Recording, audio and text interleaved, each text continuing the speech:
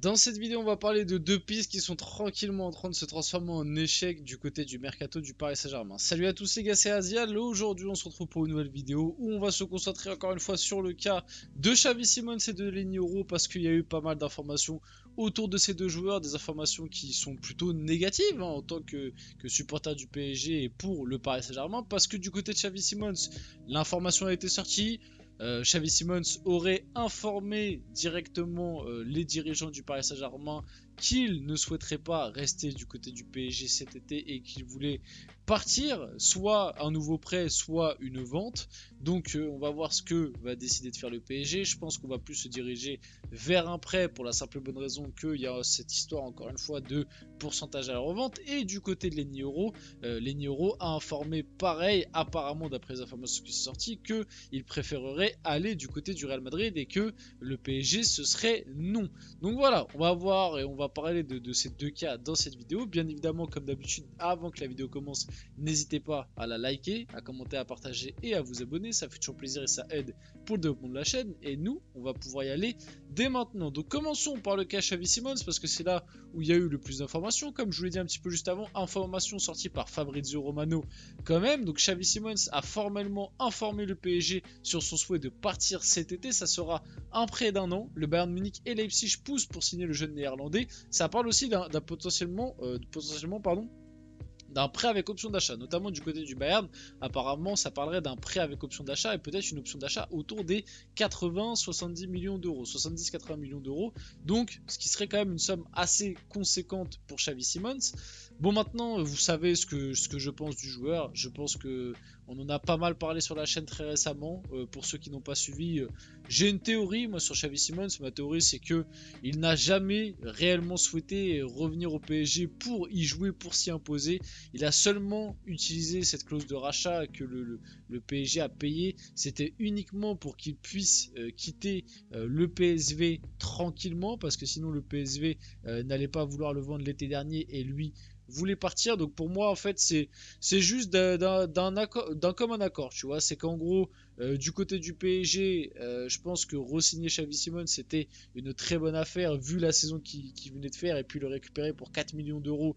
Tu savais que tu n'allais pas être perdant à l'avenir et que tu allais réussir à franchement à doubler voire tripler ta mise à l'avenir même en le prêtant et sans le faire jouer du côté de Xavi Simons c'était le seul moyen de quitter le PSV c'était de revenir au PSG et puis ensuite de entre guillemets leur mettre un petit ultimatum pour être prêté ou leur sortir une excuse bidon. Parce que je tiens à rappeler quand même que l'été dernier Xavi Simons l'excuse qu'on nous a sorti c'est que il avait peur de ne pas avoir assez de temps de jeu et que il voulait être prêté à part si Neymar ou Mbappé étaient vendus Bon bah au final, euh, Neymar a été vendu et Xavi Simons a quand même été prêté. Donc euh, bon, ça montre bien que il y avait cet objectif dès le début du côté de Xavi Simons de pas rester du côté du PSG et de directement euh, partir en prêt. Même dans cette histoire, je trouve qu'on a trop banalisé pas mal de choses, mais rien que le fait que Xavi Simons n'a jamais posé avec le maillot, tu vois. Je trouve que c'est un truc qu'on a trop banalisé, mais généralement quand même, même si t'es acheté par un club et t'es prêté dans la foulée, généralement tu poses quand même avec le maillot du club qui t'a acheté ou au moins tu fais un petit poste avant d'être prêté dans, ton club juste après. Là, Xavi Simmons, rien officiellement. Limite, si, je, vous jure, je pense que tu demandes même à des gens qui suivent le football vite fait un peu de loin, je pense que les gens ne sont même pas au courant que Xavi Simons est revenu au PSG. Je pense qu'il y a vraiment plein de gens, bon peut-être que maintenant ils le savent parce qu'avec tout ce tintouin de est-ce qu'il va rester, est-ce qu'il va être reprêté, etc., etc. Je pense que médiatiquement on en a un peu entendu parler, mais je pense vraiment qu'au cours de cette saison, les gens n'étaient même pas forcément au courant que Xavi Simons était revenu au PSG parce qu'il y a eu tellement peu de communication autour de ça, c'est-à-dire que le club avait communiqué un petit truc, mais il n'y avait pas eu de réelle annonce officielle. Xavi Simons n'a jamais posé avec le maillot du club. Xavi Simons n'a jamais mis de petits messages envers le PSG pour dire qu'il est revenu.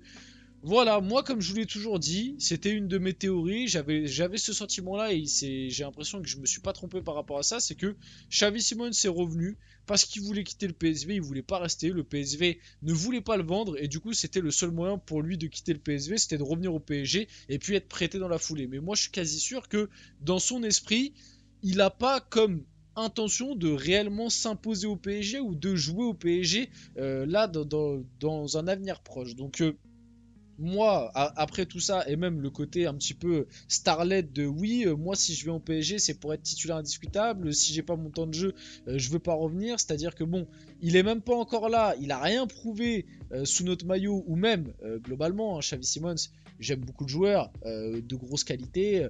moi, je, suis persuadé qu'il apporterait beaucoup au PSG. maintenant, factuellement, Xavi Simons, ça n'a rien prouvé dans les grandes compétitions en Ligue des Champions, et pour le moment, à l'Euro, il n'est pas foufou non plus, tu vois, euh, même si euh, il n'est pas aussi dégueu que certains le disent, mais il fait pas un grand euro pour l'instant avec les Pays-Bas. Euh, le premier match est raté, le deuxième match contre la France, c'était quand même très très très moyen. Donc pour l'instant, il a encore rien réellement prouvé au haut niveau et il veut une place de titulaire indiscutable au PSG. Ah, je suis désolé, euh, non, c'est viens au PSG, impose-toi, montre que tu as le niveau, euh, et puis après on te donnera euh, ce que tu souhaites, c'est-à-dire un statut que, tu désires, un statut plus élevé. Pour le moment, tu as prouvé, de, as montré de très bonnes choses, mais ça reste de très bonnes choses au PSV et à Leipzig.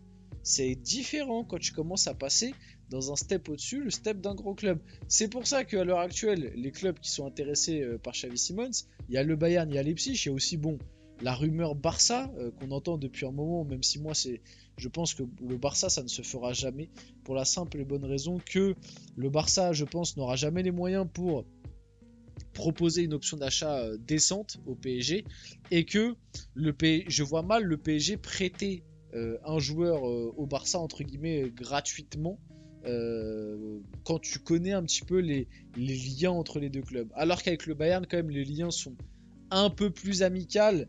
Euh, donc euh, je vois plus le joueur être prêté potentiellement au Bayern ou alors une deuxième saison à Leipzig, ce n'est pas, euh, ce n'est pas, on va dire, à, esquiver.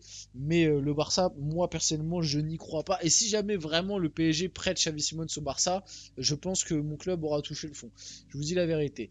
Euh, il y a eu aussi cette petite déclaration qui m'a interpellé sur son avenir. on lui a posé la question s'il avait envie de revenir. Il a dit si j'ai envie de revenir, j'étais content à Paris.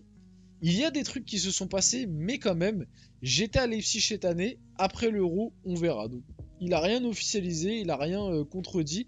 Euh, mais pour moi, cette déclaration, elle est quand même assez euh, symptomatique du fait que il a encore, euh, il a encore au travers de la gorge son aventure parisienne. Ça se voit dans sa déclaration, dans les choix des mots, euh, dans, ce qu'il dit. Ça se voit que, bah voilà, les 2-3 années qu'il a passé au PSG sous Pochettino, notamment euh, là où il a commencé à exploser et que il voulait avoir un petit peu plus de temps de jeu en équipe première et Pochettino lui en a quasiment pas donné.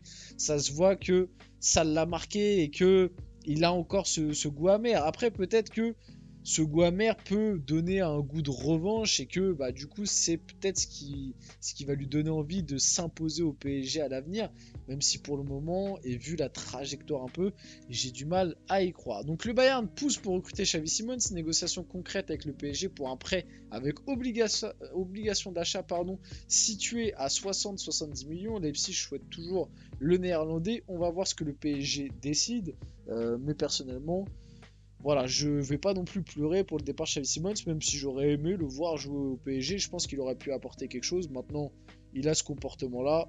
Tant pis pour lui, j'ai envie de dire. Et puis voilà, on trouvera quelqu'un d'autre et on passera à autre chose. Passons à Lenny Euro, qui était l'une des cibles principales du PSG euh, lors de ce mercato estival.